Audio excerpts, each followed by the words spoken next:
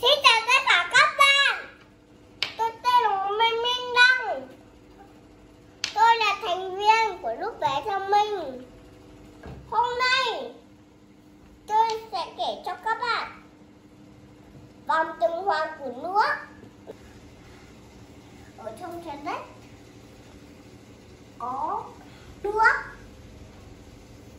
Mặt trời nó chiếu xuống nước nước nó sẽ bốc hơi lên thành những cái hạt giọt nước li ti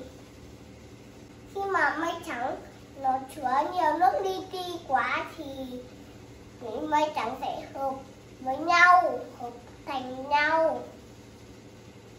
Thành mây xám mây xám lại lại lại tích tụ lại với nhau.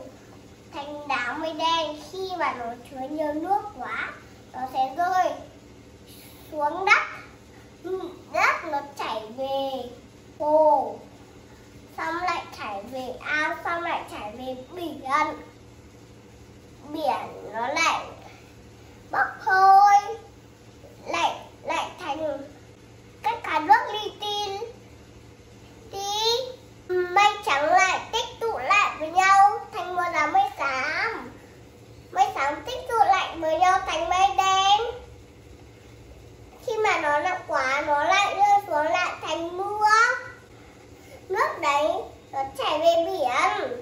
Cứ lặp đi lặp lại như vậy là thành vòng tuần hoàn của nước. Xin chào tất cả các bạn cảm ơn tất các bạn